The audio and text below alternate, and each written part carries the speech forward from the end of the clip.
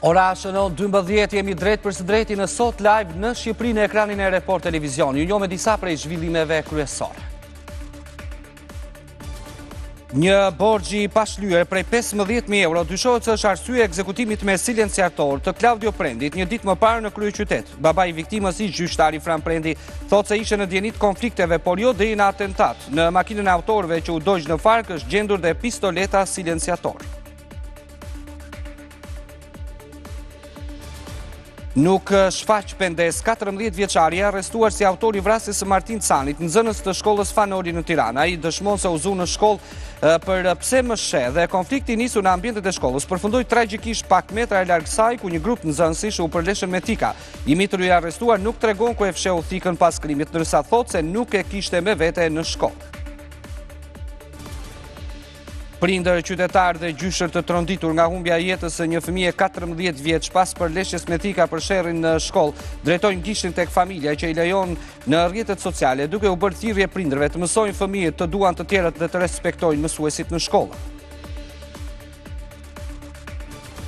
Presidenti i Republikës Bajram Begaj është duke zhvilluar konsultime me partitë politike për datën e zgjedhjeve të ardhshme parlamentare. Drejtuesit e partive të vogla i kanë sugjeruar datën 4 maj për zgjedhjet e ardhshme. Begaj do të takojë më 25 nëntor përfaqësuesit e Partisë Socialiste dhe asaj Demokratike.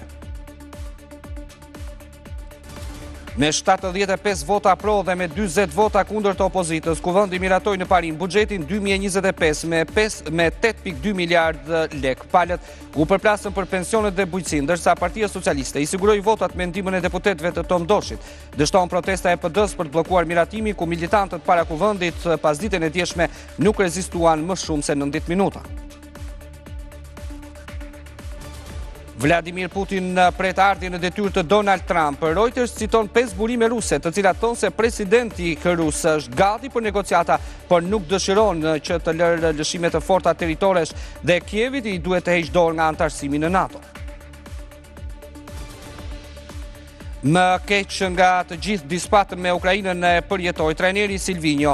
Ndihem i trishtuar, thotë ndër të tjera ai pas sfidës që e çoi kombëtaren në vendin e fundit. Sipas tij Shqipria luajti keq në 15 minutat e para dhe këto gjëra në këtë nivel nuk falen.